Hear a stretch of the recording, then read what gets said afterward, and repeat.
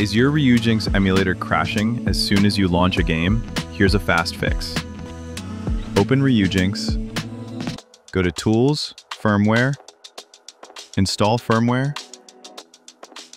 and reinstall the latest firmware using your dumped StarEye ZP or Scossions folder.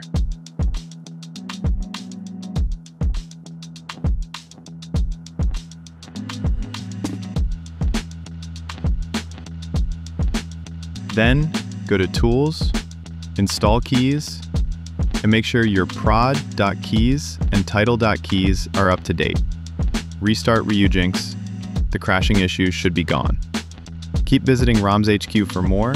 You can join our Discord or Telegram to stay updated with what's going on in the emulation world.